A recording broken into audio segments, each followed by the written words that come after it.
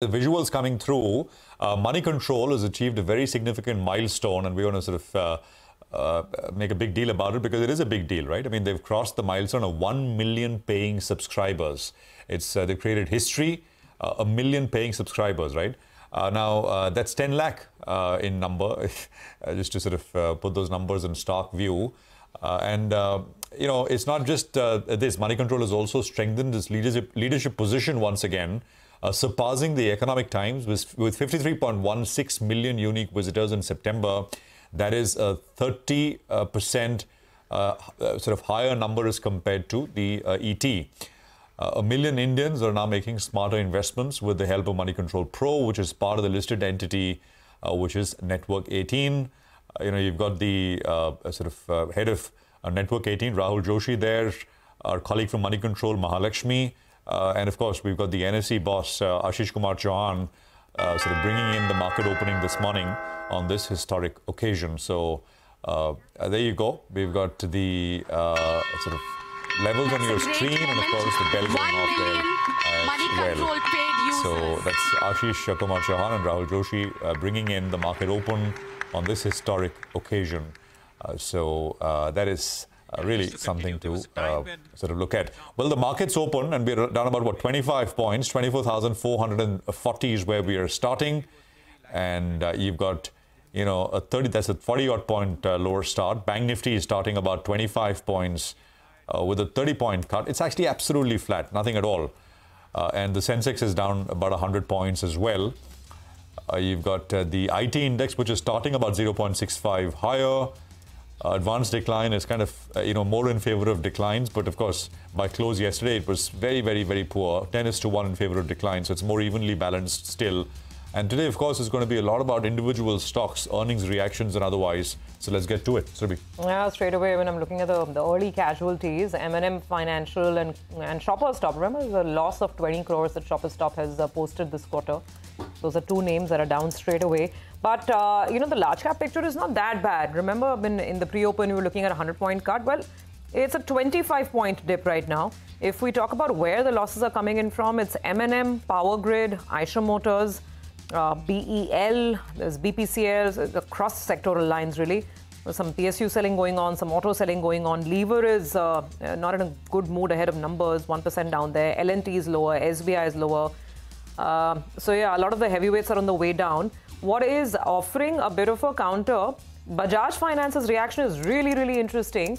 The stock was down 1% uh, as we started, but the management is saying that this is probably the worst of the credit quality issues and this is it. It gets better from here. And maybe the market wants to kind of buy into that. I saw some brokerage reports that still have a 9,000 rupee target on the stock. It seems to be a, you know, keep the faith, buy this dip sort of a moment for Bajaj Finance. And we'll get more analysis on that going as we go forward. Finserv is also up and about, about 2% higher. That's Bajaj Finserv. Uh, Bajaj Auto is up about half a percent. So a lot of uh, Bajaj names right on top. Uh, HDFC Bank continuing its good form from yesterday, so there's more gain there, half percent higher. And then some of the IT heavyweights are offering a good counterbalance this morning. TCS, Infosys, Wipro, a lot of these names on the upside. So basically, you've got tech to the rescue, HDFC Bank still fighting, standing tall.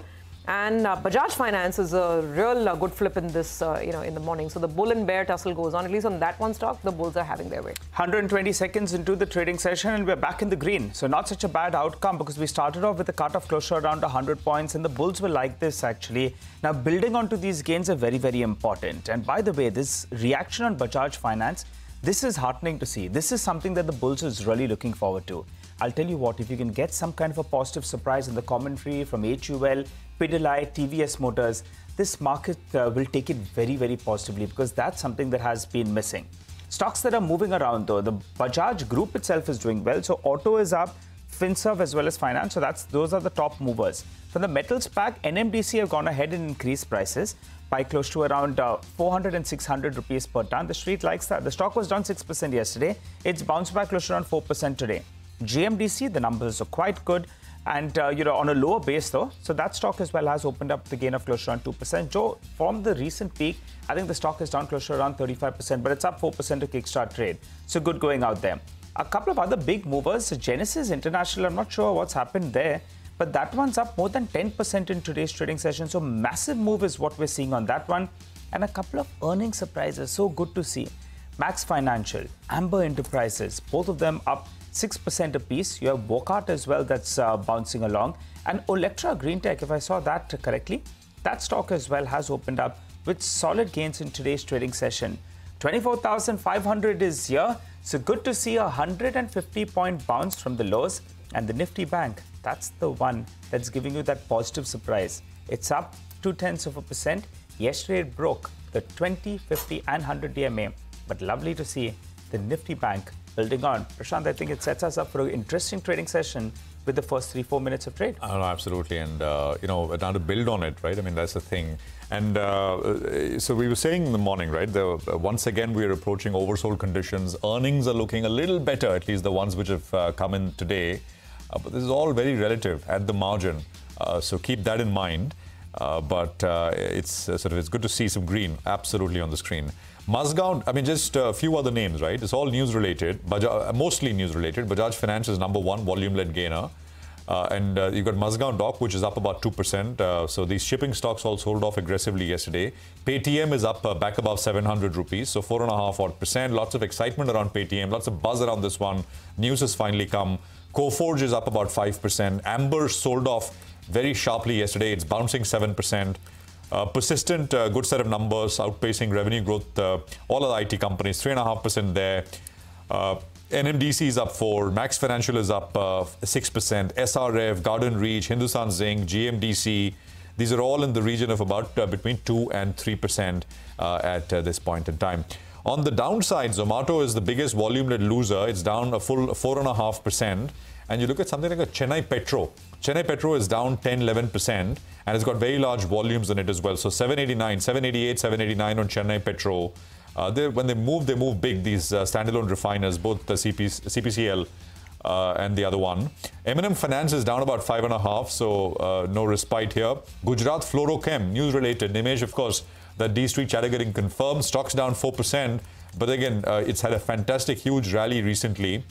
And I think Supreme Industries is down another 6% this morning after yesterday's 10% uh, cut. They've lowered their guidance there uh, as well. So that's essentially the things, the lay of the land. We got about a 30 odd point uh, pop, which is 120 points from the day's, the opening low almost immediately. I mean, the markets kind of bounce right back out.